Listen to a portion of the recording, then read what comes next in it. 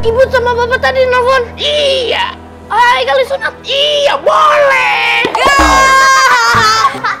Emang enak ya, sama aja.